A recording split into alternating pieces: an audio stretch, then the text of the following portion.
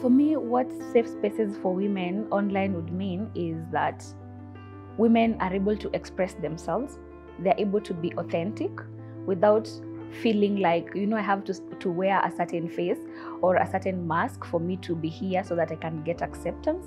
Women should be able to speak their minds freely. They should be able to run to those spaces when they're in danger outside and get help from those spaces that is what safe space means for me as a woman and as a woman i would want i would want to, to feel like i also belong that it's not my male counterparts who get more attention and more presence on those spaces than I do.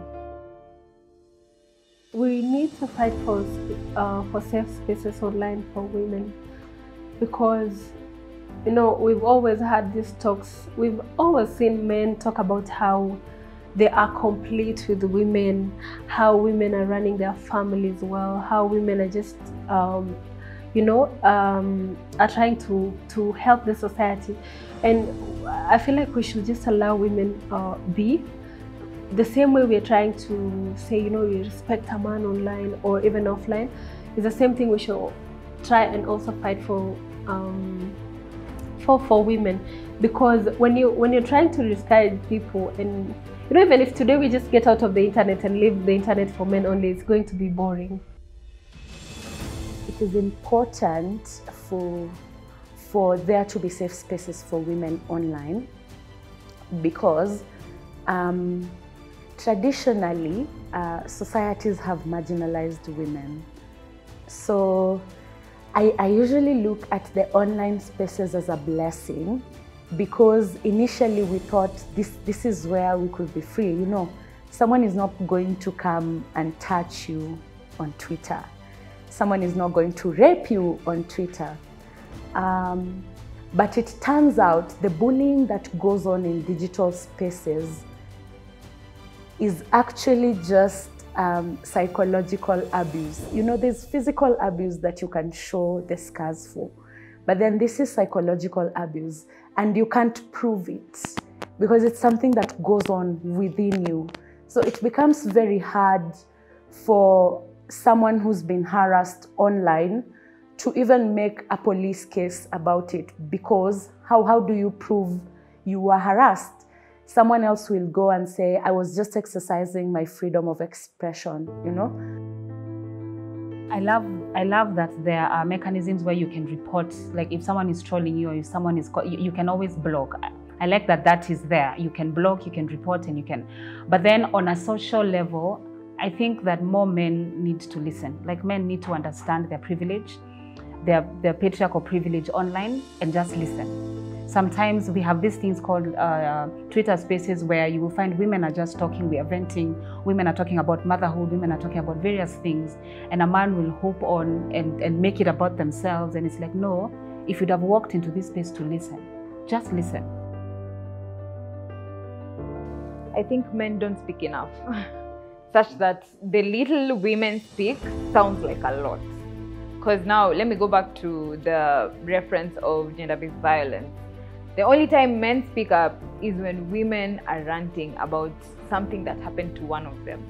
And then they say, You guys don't care about men, but men don't care about men. And they never uh, rant, they never have hashtags for men until it's about a woman. It's like being a woman in, in an African society. You don't have the luxury to just chill and act like patriarchy is a cool thing. Patriarchy is not a cool thing. Patriarchy oppresses you every day you wake up, and so you don't, uh, you can't afford the luxury to just chill and be like, you know, Mimi, I can drive my Range Rover. I live in Kilimani. My life is set. I'm cool. We all don't have that luxury.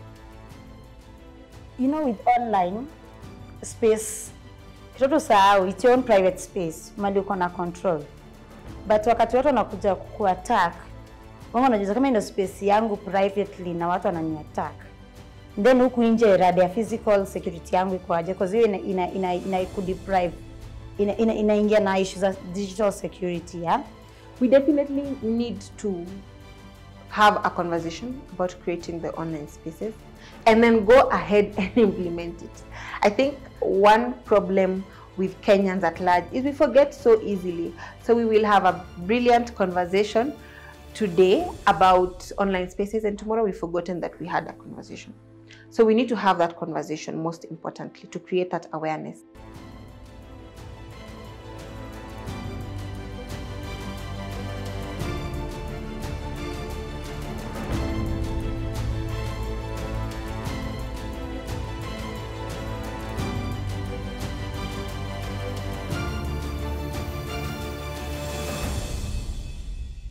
I, I usually make videos um, to highlight, you know, if a public servant is not being accountable and they need to be accountable or something. So I, I usually call out someone. So an instance where um, I was actually harassed is because I had made a video and I was shaming our president. And I strongly believed he needed to be shamed because he goes against everything that the constitution mandates him to be as a president. The way his regime has run this country has been very disappointing, if not shameful. Uh, so I shamed him. I called him out because I felt like, you know, if there's no one who's going to tell the king he's mad, I'll be the one to do it. And he has his own supporters. And they, they really, really came for me. Um, I, I, was body shamed. I was called names. Um, I was told that I needed a husband because I am too much. Uh, everything I talked about wasn't viewed as something that's um, needing public accountability. It was viewed from a very personal perspective. I, I don't know the president personally. Um, if I talk about the president, I use a scorecard to rate him. So I'll go like corruption, he gets an E, this, he gets an E, that, he gets an public accountability, he gets an E. I mean, we're still waiting for his explanation for the Pandora Papers. We are still waiting for that. So accountability is zero. And so from that scorecard, I'll then go like, that's a failed leadership. Not personally a failed man as the president, but that's a failed leadership. His office has failed. And um, online spaces don't tend to look at that perspective. So it, it very, very fast became very personal about him as a man and me as a woman. And um, I actually took some time off from social media after that because it's a lot. When you have like uh, 50 people all telling you negative things, we are human beings and external validation is something that contributes to our, our confidence and personas. So when you have 50 people telling you negative things, you know, you go like, oh. When I was getting um, appointed at the National Secretariat of the Kanu Party, of course, again, like I said, the people who are not happy. And um, I remember last year when we were um, in the COVID period, we, because most people were at home and so they were very idle. And um, there was a story about how um, my colleagues and myself, all women, by the way, uh, we had been matched with certain people and we were, there was a rumor that, you know, some of our bosses had taken a chopper and taken us to some very funny island. And I remember asking uh, one of them, Aya, is it that I have a twin who looks like me that I don't know because I have not stepped out of this house ever since? And it was growing and there were new things every day. And even people who knew why and how I got to my position, what I'm capable of, would be like, ah, today I saw the slay queen online, she didn't respond. And fine, eventually when we moved to the office, they would still be like, and mind you, I'm not responding because again, I have just gotten this job and I can't risk losing it. And so they would be like, so today I've just seen the slay queen, you know, they're out there, they're just eating. And then so even just coughing was an issue. But because I had um, not seen someone else go through that experience per se, I probably didn't know the best way to go about it. For me, I chose silence but not because silence has always been my go-to way of, of defending. It has actually never been my go-to way of defending myself or, or dealing with bullies. I chose it because I didn't know what to do. Yeah, I've had online bullying in relation to my work and even outside uh, in something that's not related to activism. But I'd say in related in relations to activism, I get that a lot on Facebook. And, you know, I, I don't know, but if it's my following or, or it's everywhere, because people believe that women should not talk about politics. Myself, I try to attach politics and conservation because right now climate change is attached to everything. There's climate change in gender, climate change in food production, climate change in politics. So sometimes when I try and talk about politics, where you're trying to push leaders to also do something about our climate crisis, I'll always get comments, uh, a lot of them from men. Not, not that I hate men, but uh, a lot of them from men saying that, you know, you're talking about politics because, you know, the things they say about women. When women talk about politics, it's always about being a flower girl. Uh, they will look at it as um, this girl is getting favors from so and so, or maybe some some maybe a political leader chooses to support my conservation work, and maybe they'll share it online, and people will always attach to that's a flower girl, that that one, you know, all those kind of discussions around it, yeah, and I get that almost every day, but we're just used to it. I think one significant one that made me exist the way I exist currently online was in 2010. So I had just cleared high school in 2009, and then um, I was just going about my business in 20 in 2010 on social media. But I like posting pictures, yeah. And so I'm the kind of person I find good sun, good sunlight. I take pictures. I find a good camera. I take pictures. I love, like, I love taking pictures. And so I would take pictures and post on social media. But one afternoon in 2010, a friend of mine wrote me a direct message on Facebook. And they were like, Have you seen your pictures? Your pictures are going around. And then I was like, the whole concept of social media, if you share it, you kind of don't have control over it. Then they're like, that's not what I meant. I meant someone has taken your pictures and somehow um, the pictures have your face, but they have naked bodies. And so that happened, and my pictures were making rounds. And apparently, the story around it was that, oh, be careful of this lady. She sends nudes and then asks you for money and all that kind of stuff. And then, of course, I had just come from high school. I was young. I was a little girl, right? So I was scared, and, and, and it was really scared, and it is really wrong that things like that are happening to people, right? Uh, but I remember from that time, I, I deactivated, not I deactivated, I deleted my Facebook account. Never to go back to it again. I deleted, of course, if you delete the account, it goes entirely with everything. So I deleted it, and for a while, I had to stay without being on social media because of the fear. And it was a lot for me. It was a lot because from my timeline, you could see all the faces that have been used are mine because it's my pictures, but the body is not mine. And I can see that, but you see, the rest of the world doesn't know that because not everyone has seen your body. So nobody, nobody is gonna think that's not you. And these people who sit, you know, behind keyboards and try to, to, you know, Photoshop and do all these things that they do with people, pictures and everything, they have time. You know, bullies and trolls and all these people, they have time. That's the thing. And so that happened. And it was really bad, but it really informed the kind of person I've become. So I recreate videos apart from digital activism and content creation. I actually recreate parliament videos, especially from South Africa, but I also do Kenyan uh, parliament videos. And so there's this one time I was recreating a video, and after recreated and posted and everything, is when the fact actually came out that it was actually a doctored, um, it was a doctored video. But I, I well, I, I still would have done it because the doctored video sounded more interesting than the than the original. But it came with I saw a lot of comments of people who felt like I did that on purpose, and I just I was I, I, I had to ignore because I couldn't respond to all those comments.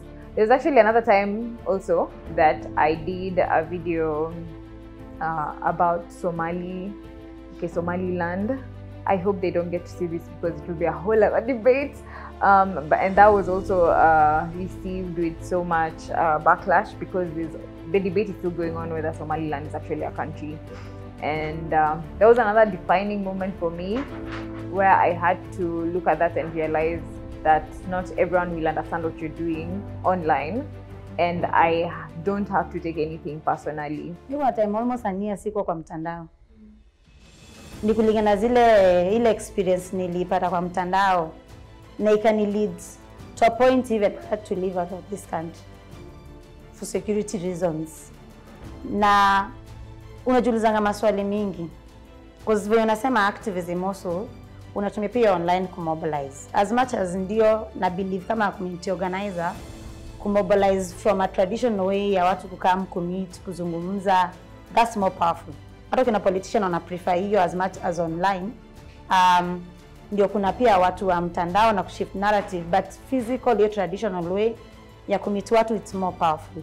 But wakati unakuja kuchukulia huko online already wanajua your power within the traditional way ya kuorganize huku sasa ina breaking mtu kabisa. That's why one mi ni choosing notifications sitakuwa nafuatilia. Wacha bongi yangu na wewe. Hiyo kufuatilia juu unaangalia vitu zinaku affect. Unapata kuna msema ongea kitu inakuuma una, tuko na emotions na tuko na feelings eh? Unasikia kurusha maneno.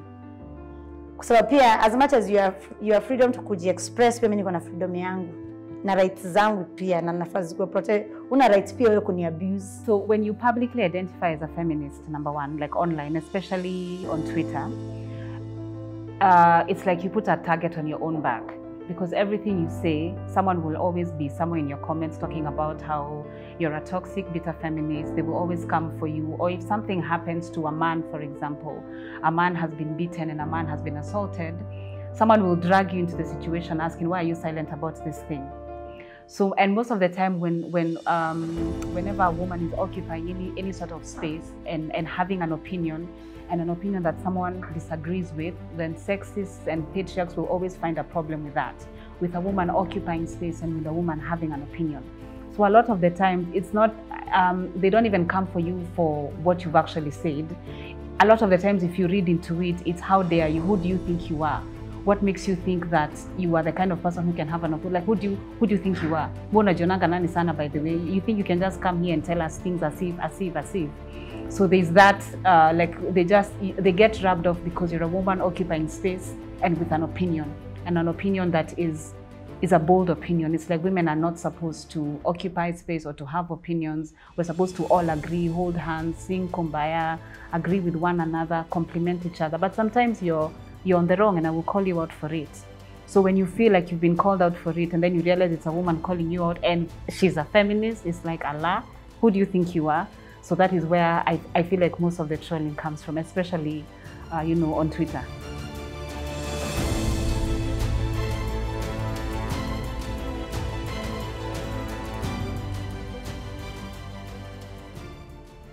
That incident did actually shape my presence online nowadays because um, I, I think back then um, I, al- I also wasn't open to different perspectives of people's opinions.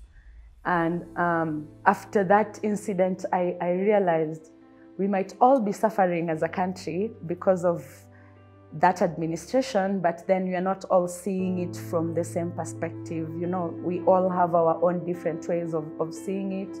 And everyone's opinion is, is valid. We are all entitled to one. So, yeah, nowadays I'm, I'm more careful with my words online.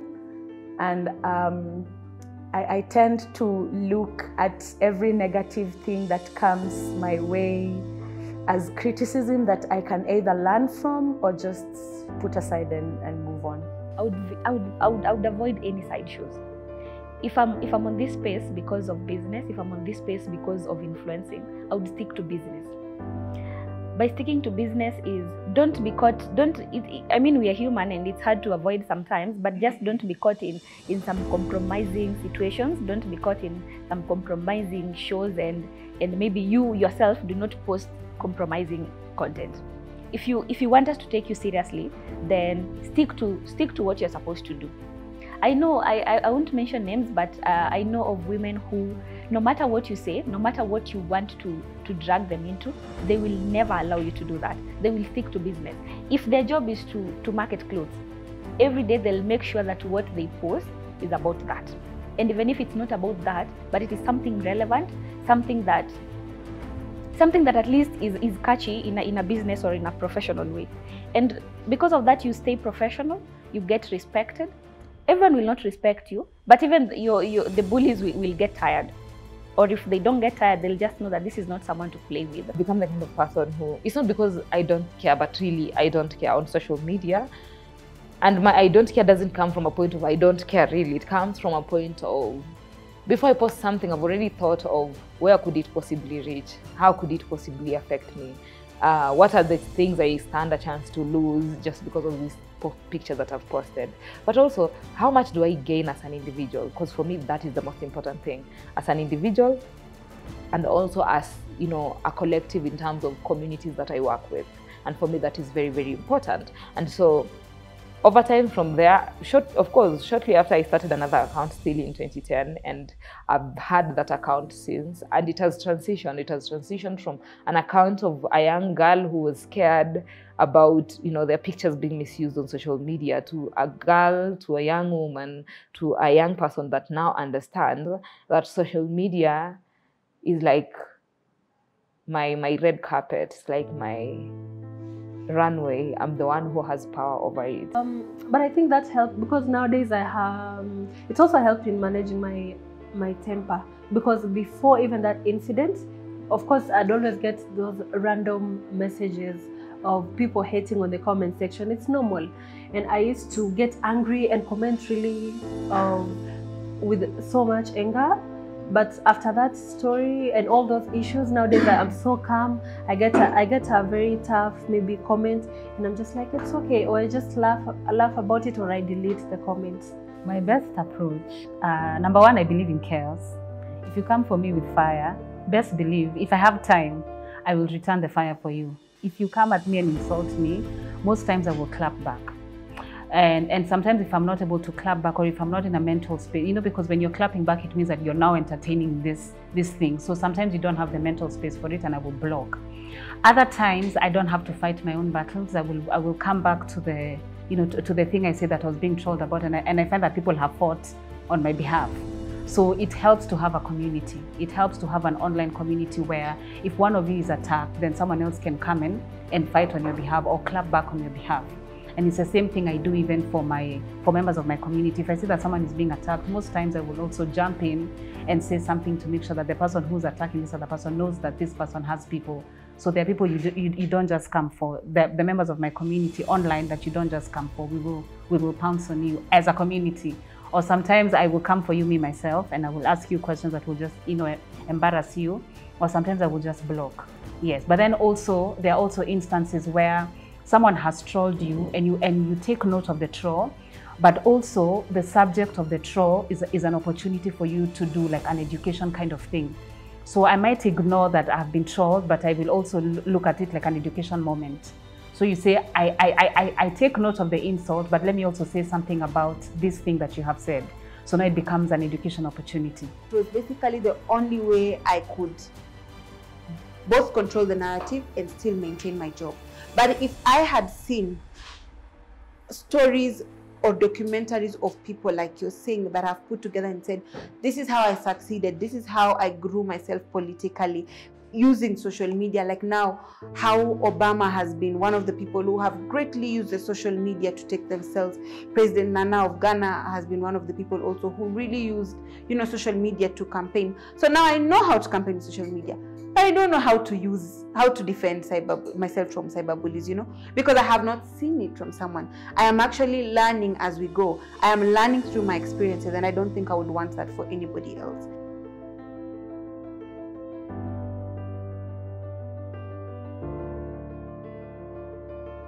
What if I got on this space because of my lifestyle? What if I got on this space because of telling you guys where I live, where I move, what I wear, what I eat every day? Because we have such influencers, we have the people in those spaces. And then there's someone else who got here because they're fighting for human rights. There's someone who got here because they started a foundation for, for young women, for girls. So, um, the person who got here because of their lifestyle will definitely want to will definitely want to know more about it right so it means for them they've they've opened their lives to us they've opened their lives to us such that every day we wake up and we know that so and so will post for us their bed so and so will tell us they moved to a new neighborhood so and so is going to visit their parents in this place you've opened it to us and so you should be ready for us to either talk positively, or when you see a negative thing, we will talk about it. For us, you've, deci- you've decided that what we see is what we are going to get, and we are going to talk about it. There's also, let me, I, I'm- I, I don't know, um, I don't mean to be vulgar, but we even have people who tell us how they engage sexually online. And for me, once you've opened that door, then let them in. Don't open it and then you say, No, I didn't mean you go that far. You, you've opened the door, so let them go in. But for you, if you want to, but for somebody somebody else who's here for a different purpose, like for them, they are, they are here to, to do the, the this foundation and, and other things, and they want their lives to remain private, then let it remain private. When it comes to privacy online, it's important to focus on data laws first. And um, we have community guidelines on, on these digital spaces. So those are some things that you'd want to be a bit informed on before you set up a digital space. Um, at times, it's, it's easy to overshare online. Um, because you know we we are the millennials and um, our parents were not they were the analog generation so that generational gap has meant that a lot of us haven't had um, a close relationship with our parents we don't feel like our parents are a safe space where if a boy has broken my heart i can then go and cry about it to my mom uh, because that's not how we were brought up, or maybe that's not the environment which we were brought up. I'm not speaking for myself. I have a very good relationship with my mother, and it's a privilege. But a lot of, of us do not have that relationship with their parents. So we run to the digital space because uh, it, it kind of gives you some comfort. When you post something and other people relate to it, it gives you a bit of comfort and you feel like it's a safe space. people can't really know they don't know or something of the. So sometimes I feel like I just need to make people online know to have so much information that I know is not necessary for them to have, especially uh, concerning my private life. Because the moment you just you parade it, online is online, and I, I think that's not that's not going to change soon as much as we want it to change. It's going to take us a long time before we get there. privacy and being in the online space i know most of the time we are told you've decided to have a social media account so you it means you don't want to be private which is not necessarily true but for us in the political space we are in our own rights public figures so it's then very difficult to maintain um, privacy. However i think we need to have the conversation where we say you know you can have your you can be your public figure and still keep certain aspects of your life private